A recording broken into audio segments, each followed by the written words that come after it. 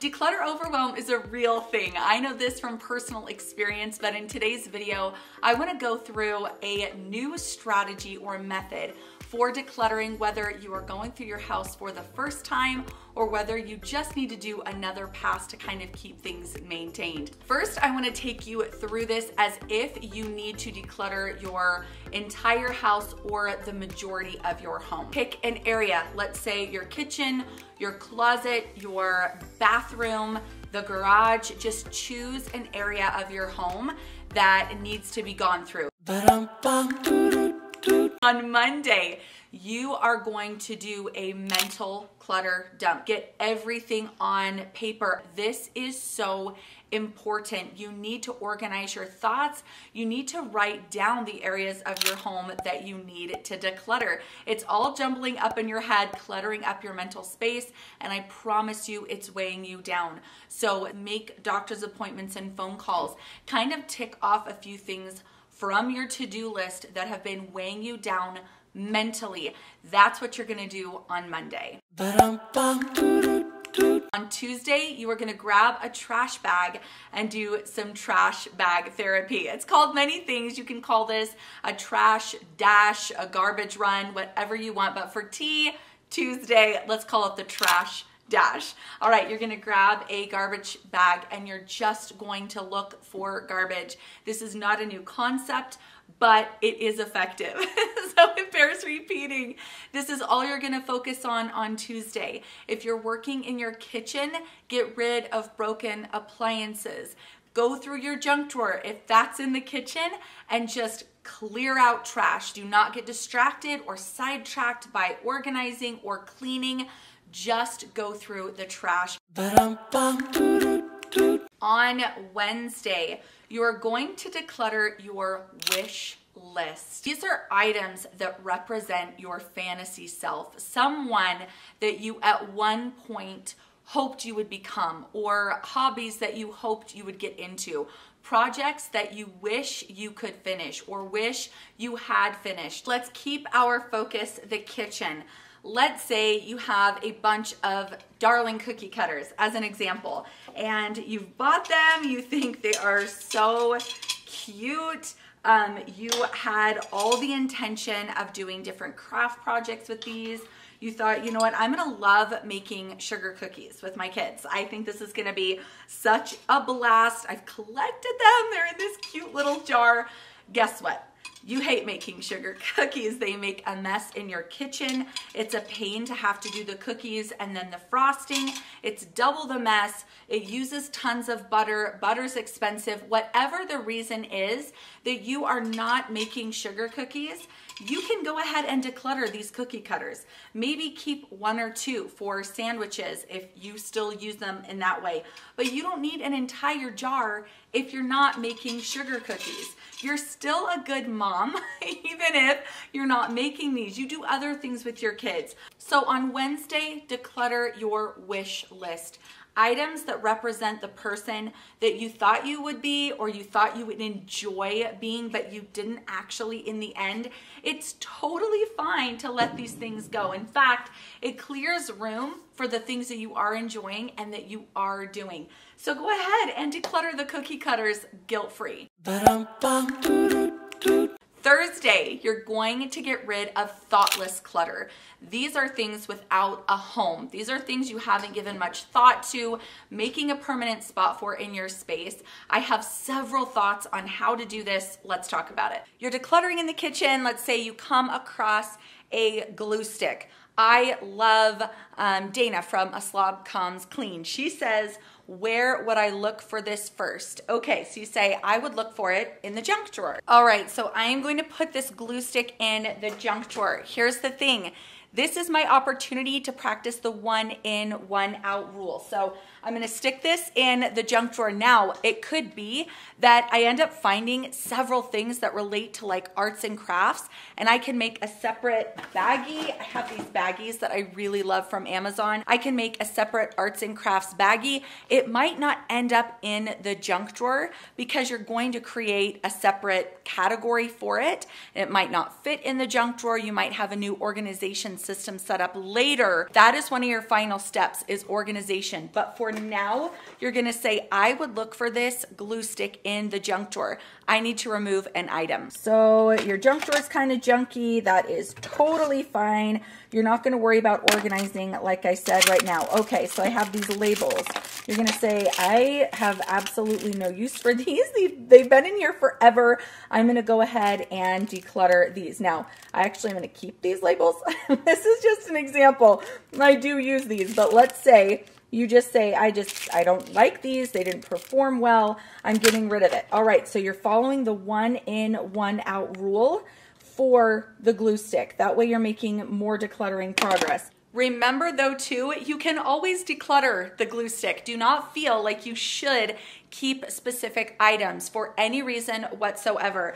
So if you don't use glue, just declutter the glue stick. Forget where would I look for it first. If you don't use it, don't keep it. Let's say as another example, you come across a pair of scissors and you're like, my gosh, these are handy. I definitely need scissors, but I'm not exactly sure where I would look for these first. So if the where would I look for it first question doesn't really get you anywhere, ask where would I use this the most?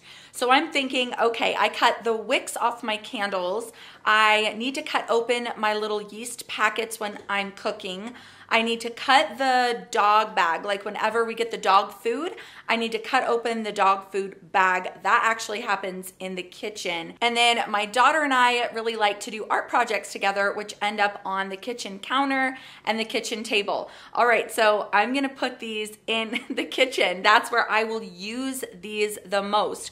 Whether or not that makes sense to anyone, it doesn't matter.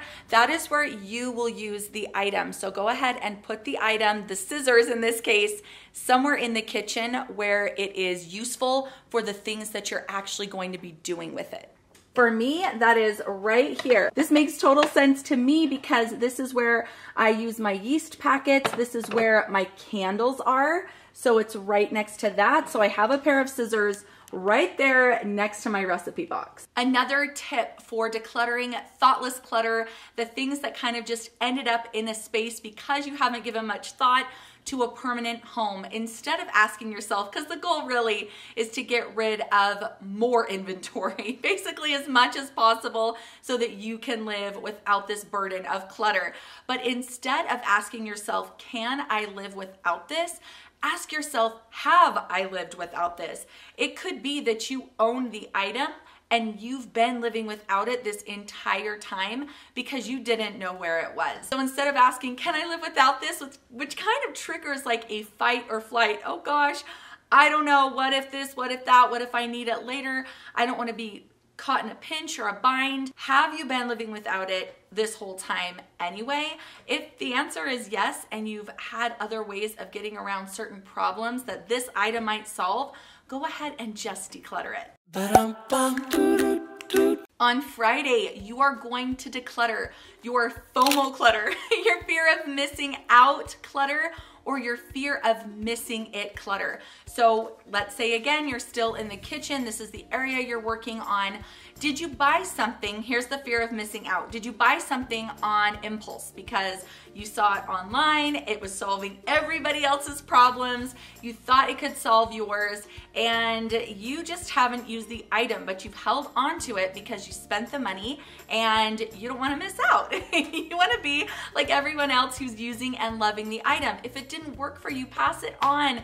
It's going to work for someone else and you can bless them with it and bless yourself by unburdening yourself from this needless clutter. The fear of missing it clutter. This one is potentially the hardest, at least for me. I know I get hung up on this one a lot. What if I need this later? Well, you can go back to have I been using it? Have I been missing it? Or have I completely been living without it this whole time anyway? You can always go back to that, but keep at least one extra. If you're really, really worried, um, start with duplicate items and keep two. Keep the one that you're using and one as a backup. This is a very gentle decluttering process. If you can kind of catch on to that, this is gentle. This is not beast mode. You're actually going through your house in a little bit slower, much more gentle way, which can be very helpful if this whole thing seems super intimidating.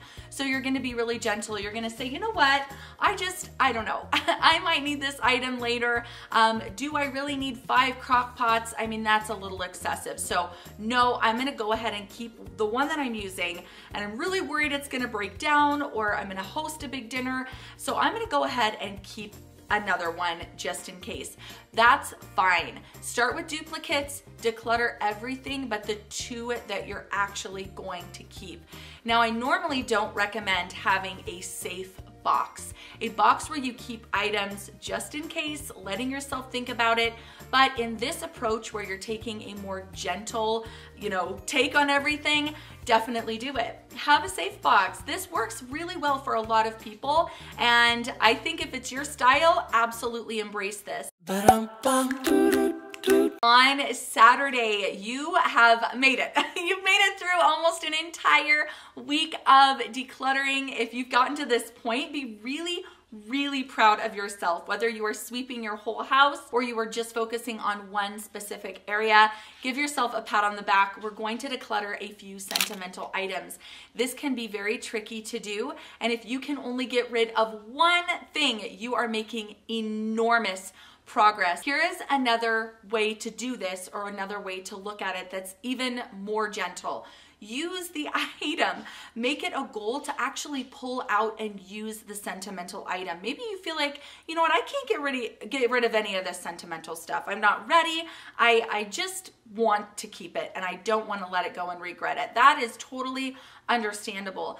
Make it a goal then to actually use the sentimental items. Ooh, I want to show you one of mine. In college, I did a study abroad where I toured Europe and had so many amazing memories. This little dish is actually one thing that I got in Italy that is pure crystal. I absolutely love it. I still think it's beautiful. I kept this in a box for about 15, 12 years maybe, 12, 15 years just thinking, I don't want it to break. I can't replace this item. This is so special and sentimental. Well, I'm not reminded of my trip when I see that box.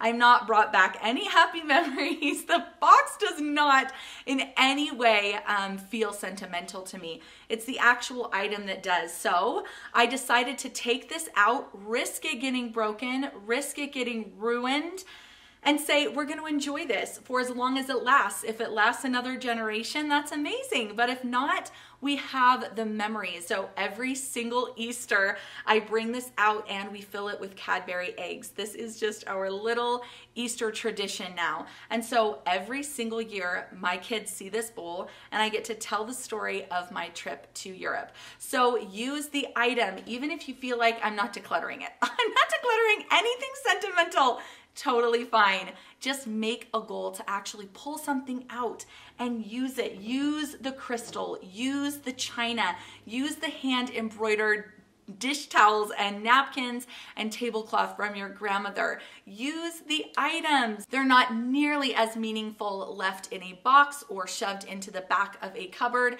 Your kids won't know what they are when they come across it if they ever end up cleaning out your house for you several years down the road, and the memory will be lost unless you use the item now. If you just need to maintain your space, if you've already done a huge declutter, a purge of your entire space, but it's been a while. I had to do this recently because I broke my foot last summer and I was immobile for about two and a half months. So my house got a little bit, it piled up a little bit. So I had to go through kind of my entire space and do this. Don't forget about storage areas. Your garage, your attic, your basement, wherever you tend to hold on to things that you're afraid you might miss one day that kind of represent who you wish you were. A lot of trash can accumulate in these areas too, so don't forget about them.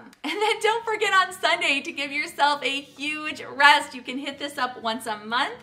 You can do it every single week until you feel like you've decluttered your space. But let me know what I should call this challenge. Um, I came up with it, I just haven't thought of a name for it, but it's something to do with weekly decluttering checklist, but I need it to be cuter than that and more catchy. Let me know what your ideas are in the comments below. Here is a playlist on the screen of more videos on how to live more clutter free. I'll see you over there.